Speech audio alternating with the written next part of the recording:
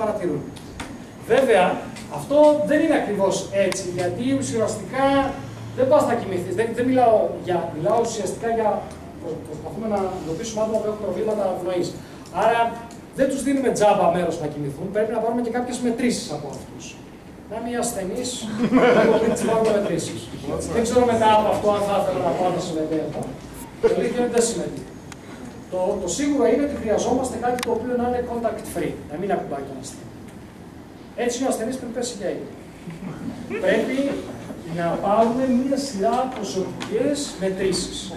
Πόσο άνετα θα αισθανόσασταν αν είχατε τα μισά από αυτά τα καλώδια πάνω σας πριν πέσετε για ύπνο; Πόσα χρήματα να Υποτίθεται ότι έχεις πρόβλημα και πας να το δεις. Το πρόβλημα που το οποίος μας ενδιαφέρει συνήθως είναι η άπνοια. Έχετε ακουστά για την άπνοια.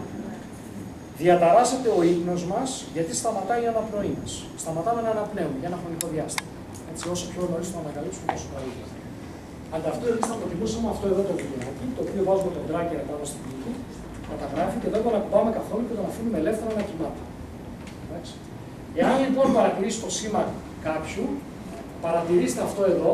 Τι σημαίνει αυτό εδώ, να σας πω εγώ τι σημαίνει. Δύο πράγματα. Ή χάθηκε ο tracker, η σημαντικότητα του να μην χαθεί ο tracker λοιπόν, ή αυτός έχει άπνοια. Και εντοπίσαμε ένα περιστατικό άπνοια και αρχίσουμε τη μελέτη από εδώ και πέρα, δούμε την πληροφορία στους γιατρούς. Πρώτο τελευταίο θέμα, Physiology Based Face Recognition. Face Recognition. Θέλω να πω κάπου. Για να μπω κάπου, χρειάζομαι κατά κάποιο τρόπο, ε, συνήθως χρειάζεται να δουν το πρόσωπό μου. Υπάρχουν αυτόματα συστήματα τα οποία με το πρόσωπο σου επιτρέπουν να δεις, να περάσεις. Μέχρι στιγμής οτιδήποτε υπήρχε σε thermal imaging είχε να κάνει με το γεγονός ότι το thermal imaging δεν επηρεάζεται αν είναι μέρα ή νύχτα. Εάν εγώ αυτή τη στιγμή σβήσω τα φώτα, στην κάμερα που με γράφει εδώ μπροστά, θα υπάρχει τίποτα, σκοτάδι. Μπορεί να ακούει τη φωνή μου, αλλά δεν βλέπει κανένας τίποτα. Σε μια θερμική κάμερα δεν θα είχαμε αυτό το πρόβλημα, θα μπορούσαμε να τα καταγράψουμε μια χαρά. Άρα συνήθως οι εφαρμογές έχουν να κάνουν με την έλλειψη φωτός. Μπορούμε να κάνουμε κάτι παραπάνω εμείς; Η αλήθεια είναι ναι. Τι; Αυτό είναι ένα κρανίο. Πάνω από το κρανίο υπάρχουν οι μυς, έτσι, muscles. Πάνω από τα muscles υπάρχουν οι βασικές αρτηρίες, έτσι, με κίτρινο χρώμα, όπως πάνω από αυτό έχουμε τις φλέβες, τα veins, major veins, και πάνω από αυτό υπάρχει το facial skin. Τι σημαίνει αυτό; Σημαίνει ότι ο καθένας από εμάς έχει μια συγκεκριμένη θερμική υπογραφή προσώπου σε σχέση με τις φλέβες τις οποίες έχει. Πώς ο καθένας από εμάς έχει κάποια διαφορετικά χαρακτηριστικά προσώπου και μπορώ να αναγνωρίσω και να πω αυτός είναι ο Τσιανιτζή και αυτός δεν είναι ο Τσιανιτζή. Υπάρχει πληροφορία η οποία υπάρχει πάνω στις φλέβες. Το οποίο σημαντέψτε τι. Μπορώ να κάνω μια πλαστική και να έχω μια αισθητική μεταβολή στο πρόσωπό μου. Ο γιατρός μου θα αποφύγει να αλλάξει τη θέση από τι φλέβε του πρόσωπου. Έτσι. Αυτό είναι μοναδικό. Δεν αλλάζει. Μπορώ λοιπόν ουσιαστικά αυτό το οποίο κάνω offline είναι να πάρω τα images, να αφαιρέσω το πρόσωπο και να αφαιρέσω ουσιαστικά έτσι, αυτό το network από φλέβες, το οποίο μου καθιστά ένα ID μοναδικό. Δεν υπάρχουν δύο άνθρωποι που να έχουν ακριβώς το ίδιο σύστημα φλέβων.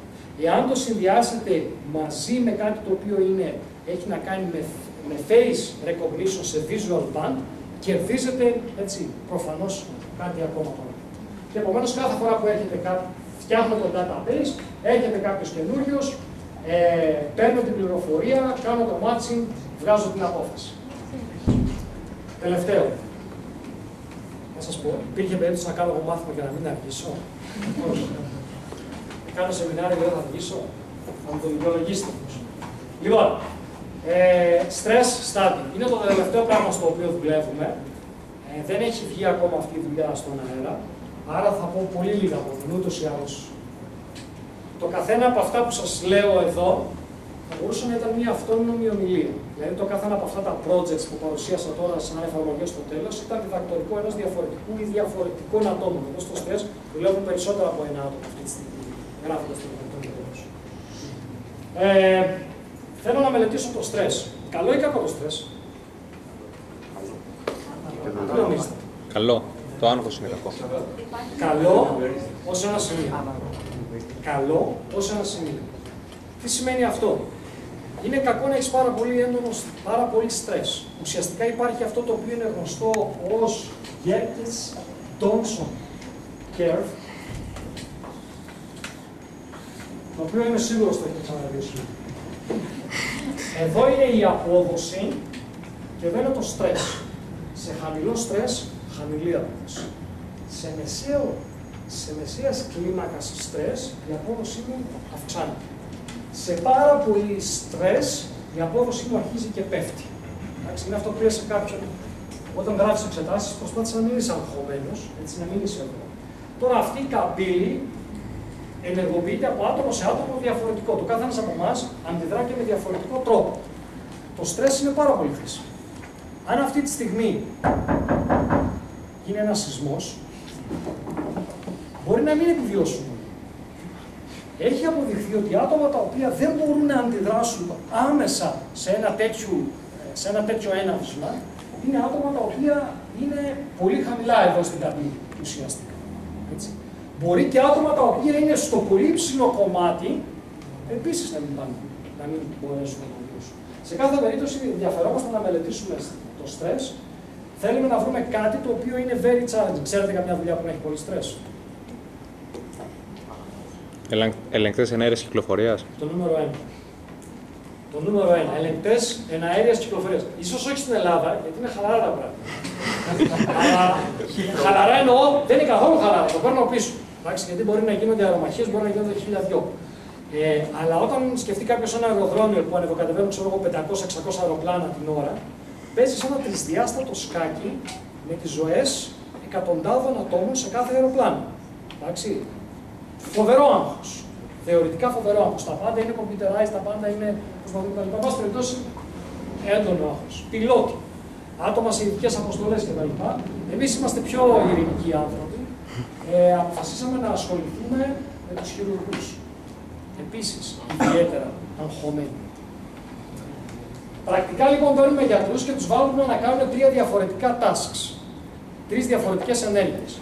Ξέρετε πώς εκπαιδεύεται ένας χειρουργός, τουλάχιστον στην Αμερική. Έχει ένα τέτοιο μηχάνημα, τουλάχιστον για λαπαροσκοπική χειρουργική, έχει ένα τέτοιο μηχάνημα όπου του βάζεις κάποιο συγκεκριμένο σενάριο και του ζητά να το εκτελέσει. Ε, δεν παίρνεις έναν ασθενή και του λες: Έλα εδώ, εσύ που θα μάθεις να γίνεις χειρουργός, κάτσε εδώ και ξεκίνα. Έτσι. Ξεκινάνε εδώ, ας πούμε, και εδώ πάνε να εκπαιδεύουν. Κατά την εκπαίδευση, δύο πράγματα μας ενδιαφέρουν. Ο χρόνος που τους που τους παίρνει για να τελειώσουν και αν κάνουν λάθος ή όχι. Ουσιαστικά αυτά είναι τα τρία tasks τα οποία κάνουμε. Το πρώτο είναι το running string. Δένουμε το κορδόνι γύρω από το χέρι μας, το δένει ο γιατρός, ο chief που ελέγχει το πείραμα και το βάζει σε έναν κύκλο, κάτω από την οθόνη. Έτσι ο χειρουργός βάζει τα δύο ψαλίδια μέσα, αυτό το κόκκινο, αυτό εδώ το, το σχοινί έχει κόκκινα στίγματα. Πρέπει λοιπόν με τις τσιμπίδες να το πιάνεις στα κόκκινα σημεία και να το μεταφέρει από τον έναν κύκλο που είναι και σε έναν δεύτερο κύκλο. Μόνο από τις κόκκινες, μόνο από τα κόκκινα σημεία όμως. Ε, κατά κάποιο τρόπο κάνει simulate επεμβάσεις που έχουν να κάνουν με το έντερο, όπου πρέπει να μεταφέρουν το έντερο σε μια διαφορετική περιοχή για να κάνουν operation εκεί.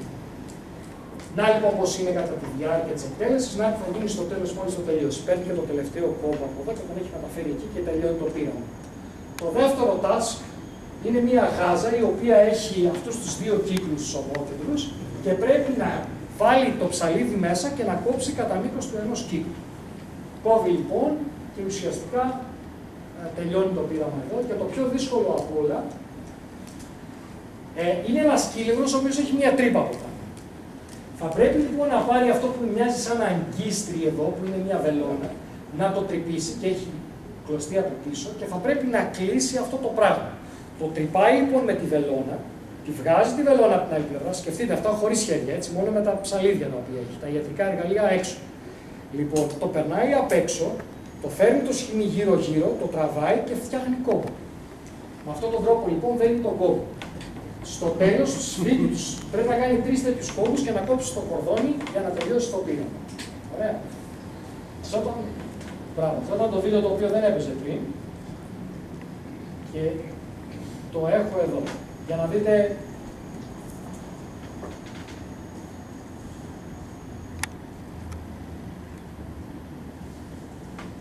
Θα δείτε.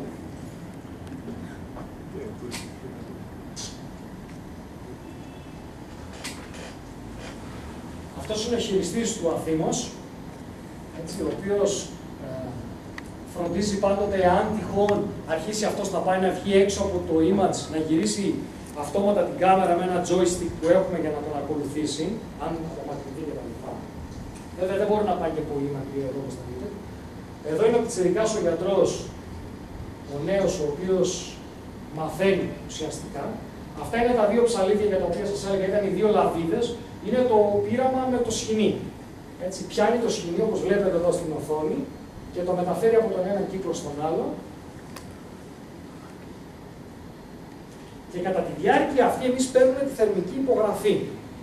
Βλέπουμε λοιπόν, παραλαμβάνω, είναι πολύ, α, έχει ιδιαίτερο στρες το να το φτιάξει αυτό κάποιος, έτσι. Δηλαδή υπάρχει μεγάλη πίεση, γιατί πρέπει να το τελειώσει σε σύντομο χρόνο και να μην κάνεις λάθος. Εάν το πιάσεις από λάθος μέρος, ε, χάνεις βαθμούς. Εάν σου πάρει περισσότερο χρόνο από ό,τι λέει το proficiency time, χάνεις βαθμούς.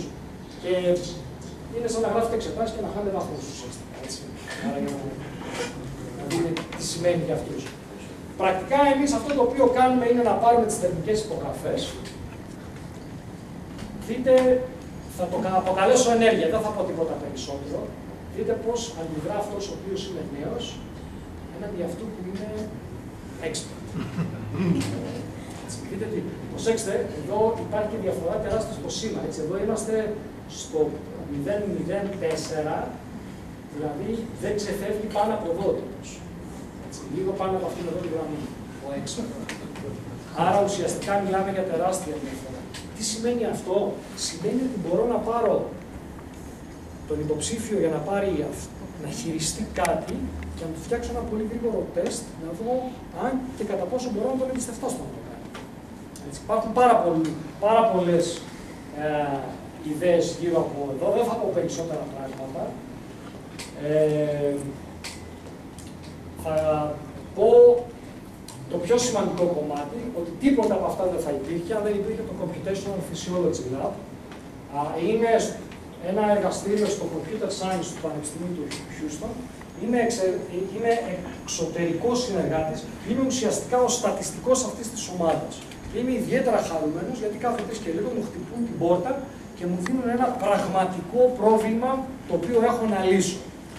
Ε, πολλά από αυτά που παρουσίασα σήμερα ήταν applied statistics. Ωραία, πάμε στο moral of the story. Αυτό το οποίο θέλω να ξεκαθαρίσω τουλάχιστον σε επίπεδο φοιτητών, είναι το εξής. Μην νομίζετε ότι. Μην πείτε μάλλον ότι εντάξει, αυτά είναι εφαρμοσμένα πράγματα, είναι ωραία, έχουν ενδιαφέρον. Γιατί να κάθομαι να διαβάζω θεωρία ή να προσπαθώ να κάνω αφηρημένα πράγματα σε μένα και Να ξέρετε ότι ένα ε, εφαρμοσμένο πρόβλημα μπορεί να δώσει ε, άριστες λύσεις η στατιστική εκεί, εφόσον έχει πολύ βαριά θεωρία πίσω. Όσο πιο Απλή είναι η θεωρία την οποία κουβαλάτε για εφαρμογή σοβαρών προβλημάτων, τόσο πιο γρήγορα θα αποτύχουν. Έτσι. Αυτοί λοιπόν εδώ οι τύποι με τροφοδοτούν τακτικά με προβλήματα. Είναι, όπως είπα εδώ, υπάρχουν 6-7 διαφορετικά διδακτορικά φοιτητών, που είτε τελειώσαν είτε τελειώνουν. Ε, περισσότερες πληροφορίες για όλα αυτά εδώ βρίσκεται ανα πάσα ώρα και στιγμή προφανώς από μένα, έτσι, ή μιας και ζούμε στην ηλεκτρονική εποχή, μπορείτε να επισκεφτείτε αυτό εδώ το site, έτσι που έχει όλα αυτά εδώ. Ε, με αυτά, να πω άλλη μια φορά μπράβο στα παιδιά που έχουν την πρωτοβουλία, να πω μια φορά μπράβο στους, στον κόσμο που στηρίζει αυτή την πρωτοβουλία και ένα μπράβο που με υπομείνατε για τόση ώρα.